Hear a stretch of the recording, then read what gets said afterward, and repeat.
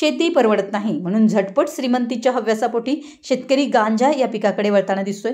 गांजाची लागण करताना कमालीची गोपनीयता बाळगली जाते. मिरज तालुक्यात अनेक गावामध्ये ऊस द्राक्षे आदी पिकं मोठ्या प्रमाणात घेतली जातात. यातच मिरज तालुक्यातील शिपूर गावामधील एका पट्ट्यानं चक्क ऊसामध्ये गांजा लागवड केल्याची खळबळजनक घटना समोर आली आहे.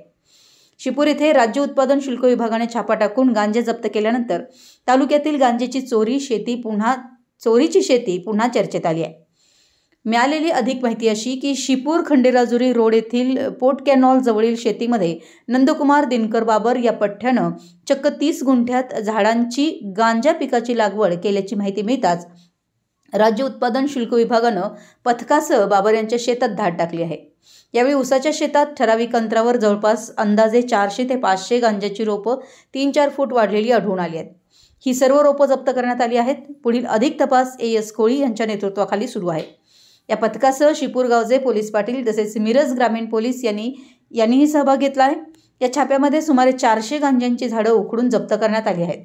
याची बाजारभावानुसार कोट्यवधी रुपयांची किंमत असून उशिरापर्यंत या गांजाच्या झाडाचं वजन करण्याचं काम सुरू होतं.